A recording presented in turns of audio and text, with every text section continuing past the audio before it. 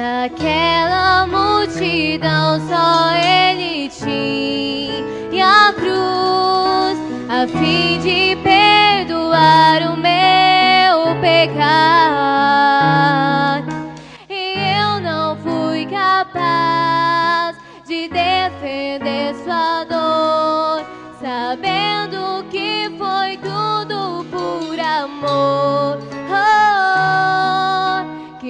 mal terrível sobre si Jesus levou em nós.